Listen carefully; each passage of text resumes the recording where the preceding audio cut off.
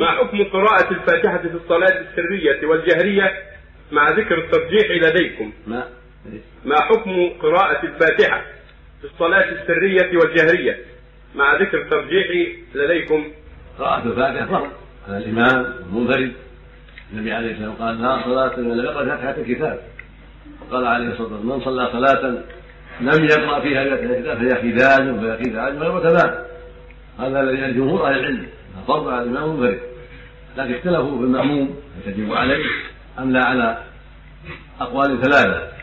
قال بعضهم تجب على على المأموم في السرية من الجهرية وقال بعضهم تجب عليه مطلقا السرية والجهرية. وقال بعضهم تجب لا تجب لا في السرية ولا في الجهرية. هي أقوال ثلاثة. أرجحها فيما يظهر من الأحاديث الوجوب مطلقا هذا أظهرها. أظهرها وأرجحها الوجوب مطلقا فلا ينبغي تركها للمأموم كما أنه لا يتركها للمؤمن بل يقرأها المأموم. ولو على قراءة الناس يقرأها في نفسه ثم ينصت الظهر والعصر والمغرب والعشاء والفجر السرية ظاهر في الجهرية يقرأها بعد الإحرام بعد الفاتحة حسب ما تيسر له. مع الإمام نعم.